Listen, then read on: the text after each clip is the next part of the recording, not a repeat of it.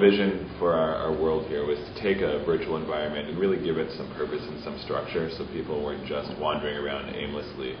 And the original notion was to use the model of geocaching, which is essentially a world, worldwide scavenger hunt where people deposit items around the world and then upload the GPS coordinates to an online community. Uh, visually, the concept which emerged was to use a Picasso theme because of the geometric shapes that work well in the digital environment which we were, we were working in. Picasso's paintings were our inspiration, especially the Guernica. What he would do is he would merge different perspectives into a 2D surface, in effect, creating simple shapes we could all work with. I had to imagine Picasso's paintings in three dimensions so that our modelers could build them in 3D Max. There was a book which I read as a child called The Eleventh Hour, which was essentially a mystery story uh, written in rhyme, and there were clues throughout the book, and you had to use these clues to figure out who stole this banquet uh, at the end of the story. I won't tell you who it was, but it's the least, uh, the smallest animal of the bunch.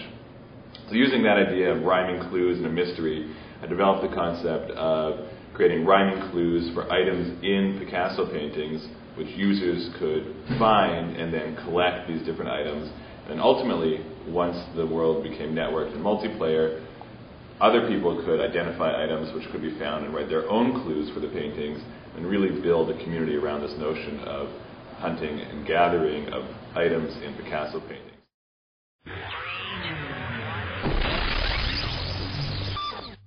I'm calling them little towns, but it's basically just like there'd be a shack and some other decorations around it. So when you're walking around, you're like, oh, there's stuff over there, and then you walk over to it and there's a painting, right? And so then, if I get the four other items, we'll just place them somewhere on the world and not necessarily next to their paintings. And then we'll just make it so when you run into the item, it says that you found the item instead of the painting saying that you found the item, because that doesn't make much sense right now. And then we get the audio in and the music in, and then we're like, whoa, it kind of works. All right, good. Game over. My role in Team Picasso Pi was to create low poly models for use in our virtual world. I worked in close collaboration with the entire team but in particular with Salvia, who is responsible for texturing and the overall artistic look of the world. All models were created using 3ds Max and exported as OBJ files.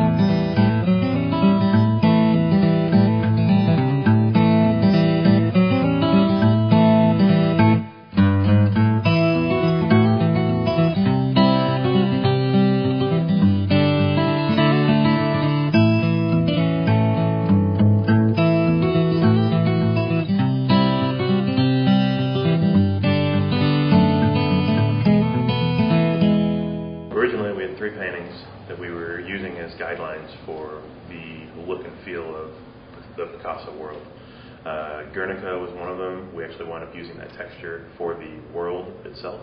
That if you zoom out far enough, you will see a painting wrapped around our 3D globe.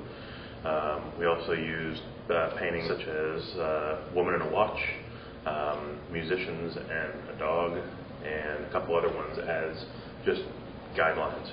Um, we took buildings and the way that we saw buildings portrayed, uh, and Steve was able to model representations of those buildings uh, for uh, to input into our 3D world. Good. Yeah. How good? Um, pretty much. Really good? Or not? Okay. Waiting for SetsCode to make some changes.